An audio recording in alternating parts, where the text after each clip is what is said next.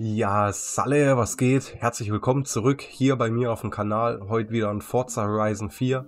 Wir fahren eure Lieblinge. Heute handelt es sich um Nice Fiber, sein Liebling. Und wie ihr da schon über diese Mauer erkennen könnt, ist es ein Ferrari. Ich zeige euch mal kurz so die Farben ohne Nummernschild. Ein schwarzer, ein schwarz-gelber und ein roter. Welchen werde ich wohl fahren? Richtig, den roten, wie man es von mir kennt. So. Ach so. Ach so. Mit dabei heute ist natürlich wieder der Justin und der Nice Fiber, die sich schon selber verraten haben. Hallihallo. Hallo. Und wir jagen dieses Auto mit diesem Tuning auch wieder über Goliath. Da sehen wir uns gleich wieder.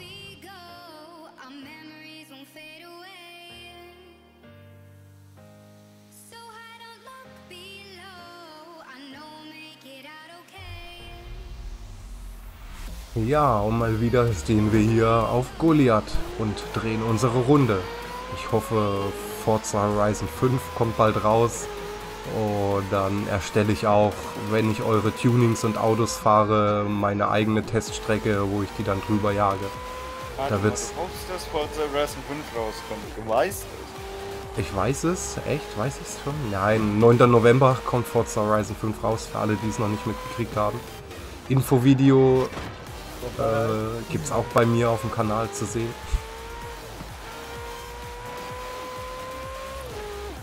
Ja, und wir fahren jetzt hier einen Ferrari 488 GTB. Man nennt ihn auch der Killer.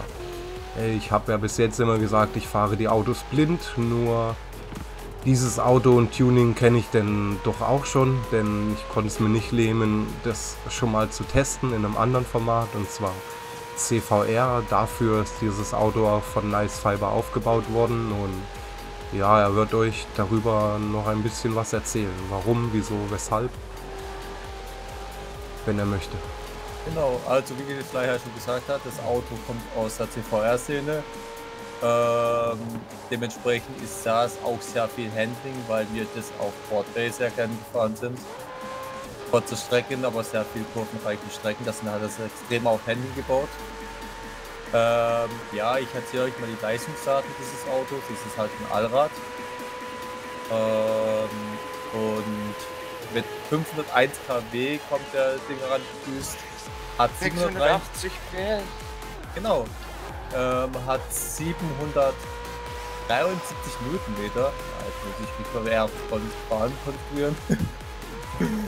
ähm, genau. Ähm, mit 1,5 Kilogramm ist er schon ordentlich schwer, aber ist auch Was? 1,5 Kilogramm.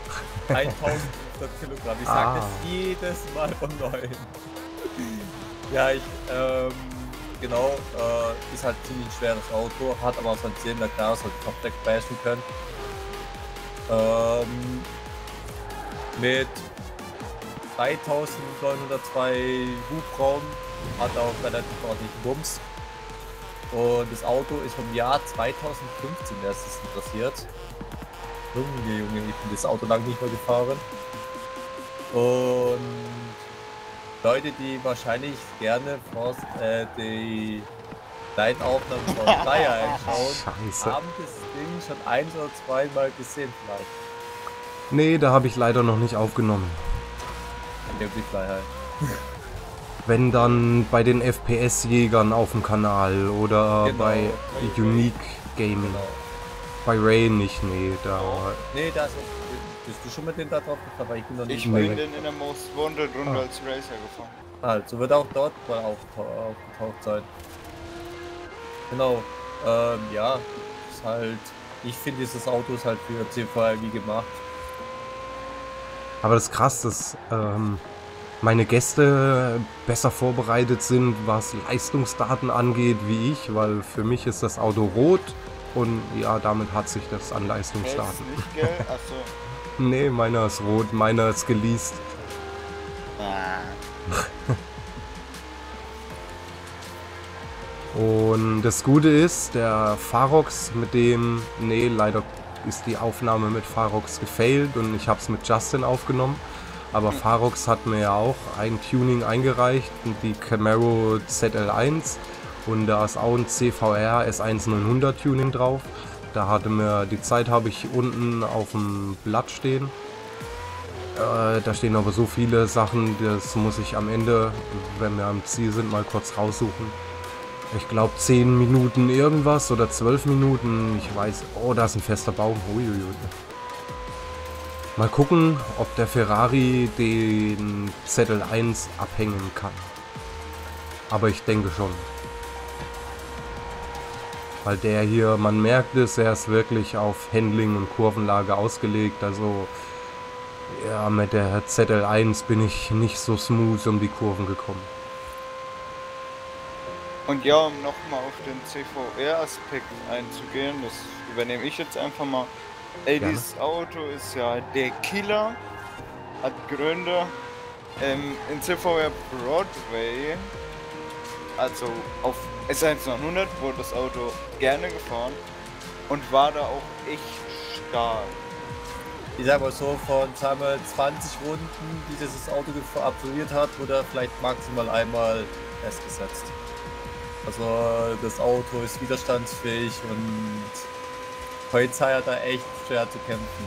Ja, Ja, das habe ich auch in der Most Wanted ins Quadrat-Folge sogar bemerkt.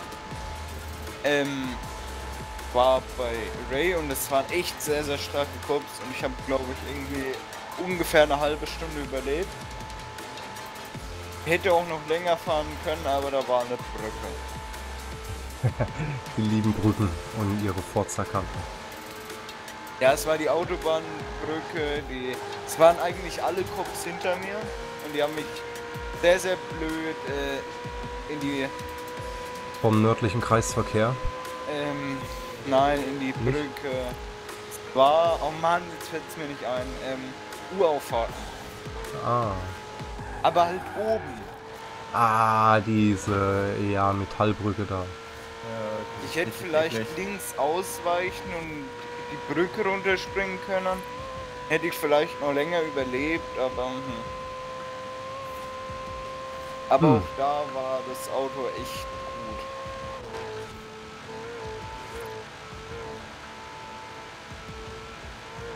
Und ich weiß nicht, wie ihr es findet. Ich finde, das lässt sich hier auch gut fahren im Rennen. Also letztendlich die Höchstgeschwindigkeit sagt na klar nicht viel aus. Also mit 320 maximal kommt auch nicht viel schneller wie die letzte Serie mit dem CVR. Nur ist der halt wirklich rein auf Händen gebaut worden, um halt Kurvenjäger zu sein, um die Cops in den Kurven abzuhängen, da wo die Cops am meisten schwächeln. Und ja, schauen wir doch mal. Ich hab müssen nachschauen, wie schnell ich mit dem Zagaris war. Der war ja auch auf S1 900. Ich glaube 9 Minuten 40 ungefähr. Ja, irgend sowas hätte ich jetzt auch im Kopf gehabt. Und ja, der ist nicht ganz so schnell um die Kurven gekommen. Ich weiß nicht, ob er eine, eine höhere Geschwindigkeit hat er auch nicht gehabt, gell? Der war ziemlich ähnlich. Ja, Ja, ich glaube, ich glaube, der Sagaris war in der Beschleunigung ein bisschen besser. So kommt es mir zumindest Ja, vor. er ist auch viel leichter. Das stimmt. Ja. auch noch dazu. Also da war, wie gesagt, das ist eigentlich ein Schwergewicht für seine Klasse halt mit 1,5 Tonnen. Ähm, rätselt er halt die Cops weg so, und lässt sich nicht von den Kopf wegkriegen. Das ist auch der Hintergedanke. Der hat dann Überrollbügel. Auf den verzichtet man ja normalerweise gerne. Und das bringt ja auch nochmal Gewicht dazu. Ähm, es ist der originale Motor, muss man dazu sagen. Also für die, wo das überlegen, mal in ihre eigenen Most Wanted Spiele mal zu benutzen. Ähm, ist bei uns in Regeln sind Antriebsbock na klar erlaubt, Motorwechsel meistens nicht. Und da kommt der Ferrari genau ins, äh, ins Spiel. Der hat nämlich keinen zweiten Motor, der kann nur den Originalmotor einbauen. Also kann man, also diejenigen, die nicht tunen können, die könnten sich auch einfach ein Tuning dafür runterladen. Aber So wie du ich. es jetzt gesagt hast, die Leistungs- und Gewichtsunterschiede sind schon extrem. Also der Ferrari hier hat 120 PS mehr, wiegt dafür aber 500, 600 Kilo auch mehr. Ich dachte Gramm, der war doch nur 1,5 Kilo gewogen. Genau ja, Sie ist leicht. VR 930 Gramm Maß, stimmt.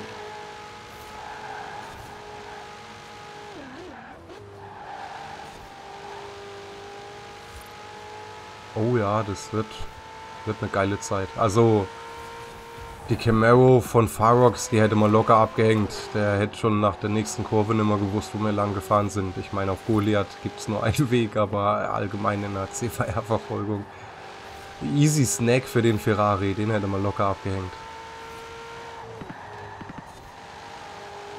Ja, das Auto ist halt schon krank. Ja. Und den Zagaris haben wir jetzt, glaube ich, auch geschlagen. Ganz knapp mit einer neuen 38. Ja, knapp. Ich glaube, um die zwei Sekunden müssten es Unterschied sein. Action, genau, gut erkannt. Action war es auf jeden Fall. Wir haben den Killer von der Straße geholt und ihn hier mal am, am, was ist das, Meer oder See oder ja, da scheiden sich ja die Geister, See. man weiß es nicht genau. Das ist ein See. Okay, wir nehmen den See. Loch Ness oder so. Keine Ahnung. Auf jeden Fall geiles Tuning. Wenn ihr mal eine CVR-Runde spielt auf S1900, ladet euch das Tuning runter von Nicefiber. In der Videobeschreibung ist der Download-Code äh, verlinkt. Und habt Spaß damit und äh, ärgert die Cops. Denn die werden euch wahrscheinlich nicht kaputt kriegen. Ich bedanke Und mich euch hassen. und euch hassen, genau. Ich bedanke mich bei euch zweien fürs Mitmachen. Okay, sie sagen nichts. Dann sind wir an der Stelle raus. Dann sind wir an der Stelle raus. Lasst den Daumen nach oben da, wenn euch das Ganze gefolgt, äh, gefallen hat. Und dann ciao, ciao. Ciao.